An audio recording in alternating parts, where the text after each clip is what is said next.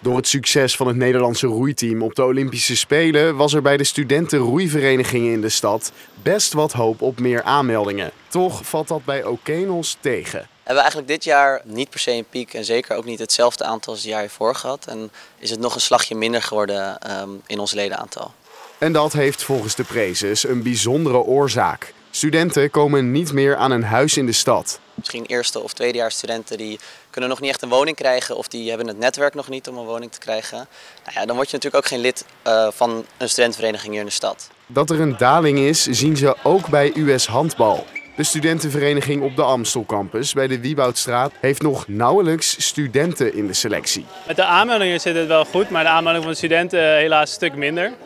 En uh, ja, je ziet natuurlijk de demografische ontwikkeling in de stad zie je eigenlijk gereflecteerd in onze club. En uh, ik heb nu 50 spelers voor de eerste teams en daarvan zijn twee studenten. Toch nog liever in het ouderlijke huis blijven, uh, omdat het heel veel geld kost of omdat ze het gewoon simpelweg niet kunnen krijgen.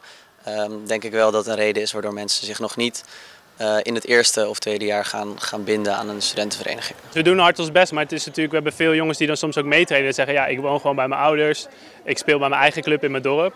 Ja, dan komen ze niet echt bij als meedoen. Ook bij andere Amsterdamse studentensportverenigingen die AT5 heeft gesproken, daalt het ledenaantal de laatste jaren.